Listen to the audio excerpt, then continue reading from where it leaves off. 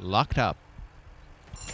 Gates fly back and Mary of Scots away well, so too interesting times on the outside and deeper out is Purple Scooter. Shooting for the lead is also Dancing Doll and Handy near the inside, good to me. So Exotic with room up the rail is mid-pack and starting to improve and a length away, second last Gizmo Flash. The early trailer who's five off the lead is Pink Scribbles and racing to the lead is Interesting Times on the inside from out deep on the track, Purple Scooter. They've both got across nicely trying to push through a little bit is good to me in third. Dancing Doll has the best position behind them. A length to So Exotic, who's got a chance to come off the rail if desired.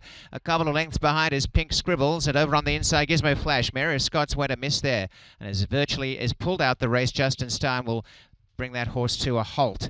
Racing out in front, it is Interesting Times, the leader coming quickly, Dancing Doll. So Exotic's coming around the outside, chasing Dancing Doll now, and Pink Scribbles is finishing well, turning, and it's Dancing Doll, who loves the Tapeta, has gone up to join Interesting Times. Right behind them is So Exotic, trying to mow them down, Pink Scribbles. So Exotic joins Dancing Doll in Interesting Times. Pink Scribbles a threat, and then came Good to Me, but So Exotic's got the lead, and is only a neck in front. Interesting Times kicking on a little bit.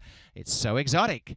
And so Exotic draws off to win by a length to Interesting Times. Third is Pink Scribbles, then Good to Me Dancing Doll Weekend from Gizmo Flash. Then Purple Scooter. Now Mary of Scots pulled out the race.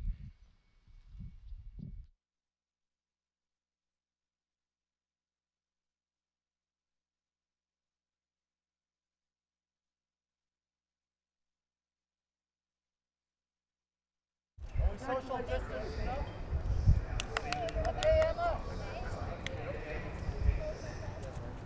A bog.